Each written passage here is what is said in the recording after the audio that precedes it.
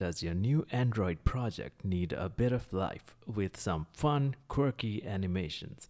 It's super easy if you use Lottie. Here's how. Open your existing Android project or fire up a new one and in your build.gradle file, add Lottie as a dependency.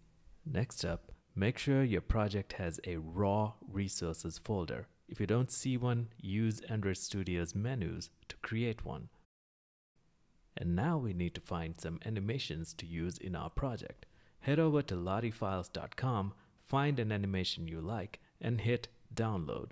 Download the Lottie JSON onto anywhere on your computer, and then simply drag it into your project's raw resources. Next up, in your layouts where you'd like an animation to appear, add a Lottie animation view. Give it an ID, a width, a height, and whatever layout attributes as you require. From there, you can configure the player however you want using the various configuration options that are available to it.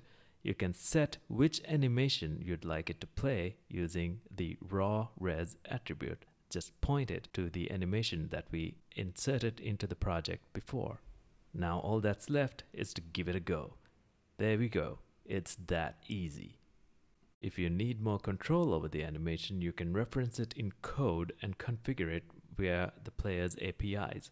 For example, setting the minimum and maximum frames to loop over. It's really that easy.